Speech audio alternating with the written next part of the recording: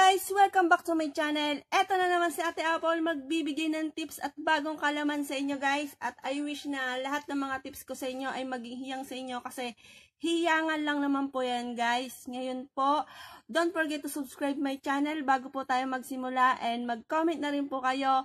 Kung nagustuhan nyo po, like or thumbs down, welcome po kayo. Simulan na po natin guys!